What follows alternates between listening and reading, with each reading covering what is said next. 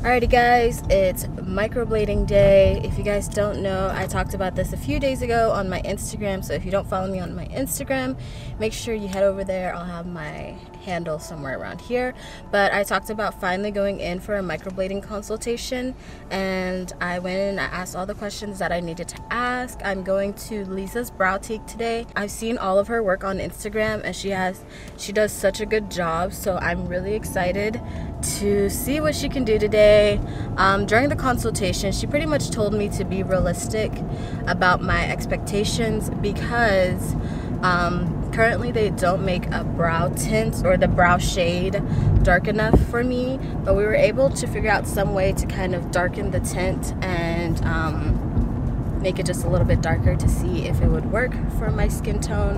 Um, when I went in, she was just like, oh wow, you're actually a lot darker than I was expecting because I told her like I'm actually really dark skinned and um, I'm not sure. I've had people tell me before that that microblading might not work on my skin tone and stuff like that but she was willing to try and figure out a way to make it work. And plus a lot of you guys have been asking um, if I would ever consider microblading because you guys see what I'm working with. It's nothing. Well it's something but not enough. So um, and I hate doing my brows. So I figured let me give it a try and we'll see how it goes we'll show you guys the whole process of like mixing the pigments to kind of make it darker. For any of you guys that are around my skin tone or just trying to consider that or have been told like it's not gonna work I mean honestly we still don't know if it's gonna work if the pigment's gonna stay and um, be visible. So we'll see. But I don't know. She was really sweet and really nice, and she's actually coming in on her day off because we are filming. She wanted to make sure we had enough time to get good quality content, so I really appreciate that. She didn't have to come in on her day off, and yeah, I'm really excited. Are you excited, babe? Mm-hmm. Anthony's going to be helping us film today because she says she likes to, um, she wants me to stay pretty still, so I really can't be moving too much. So he's going to be here helping us film when she's doing like the actual blading and stuff. So I'll see you guys there. This is such a cute office, you guys. I'm obsessed with it. So cute. And this is Leeza. Hi.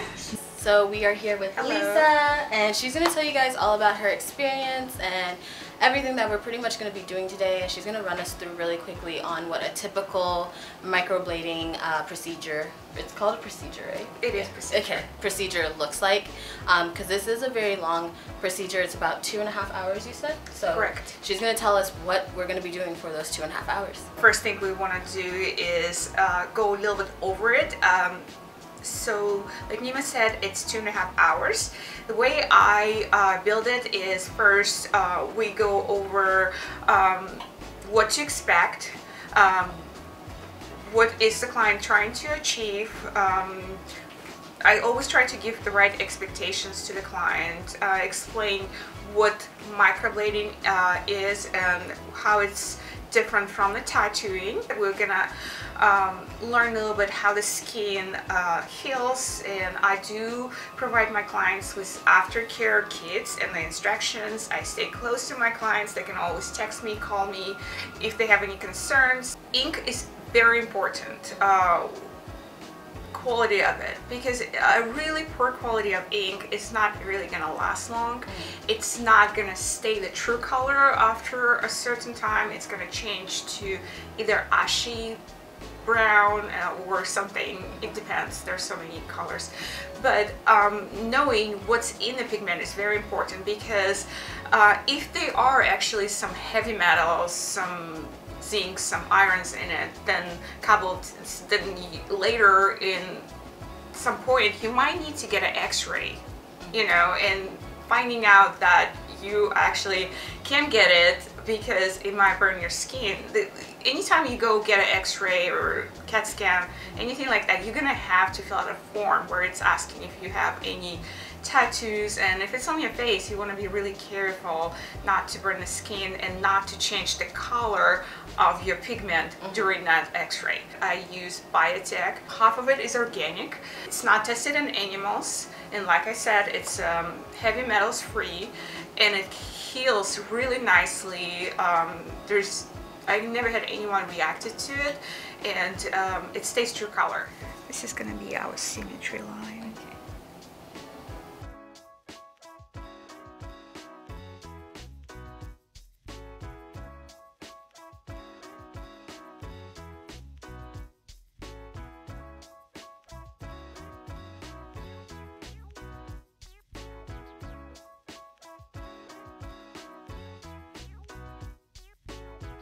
do it like this. or- Um, the shape, yes.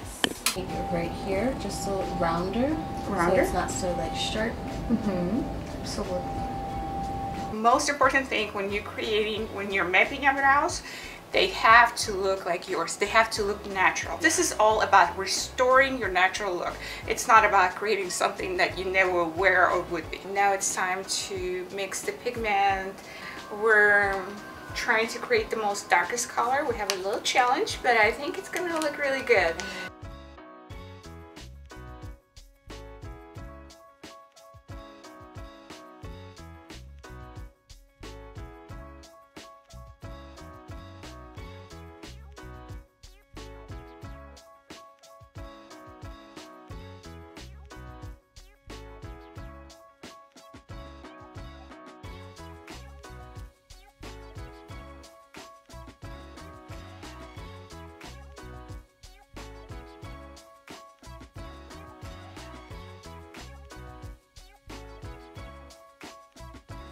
How you feeling?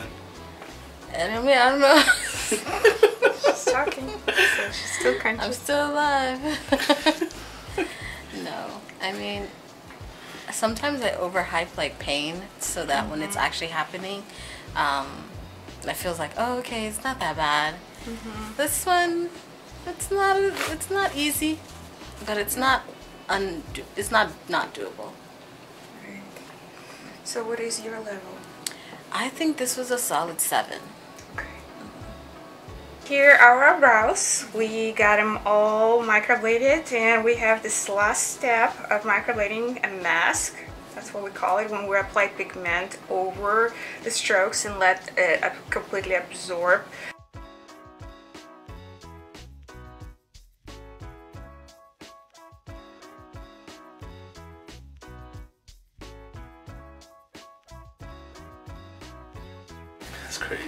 What? You have brows. Do I? That's crazy. I know. I saw them earlier. She did so good. All right, so now we need to talk about aftercare. Uh, first thing I want to do is apply a little bit of aftercare cream on the brows. And we don't need a lot, we just need enough to coat them and to soothe them because really um, the main source is the oxygen. We want the skin to be able to breathe.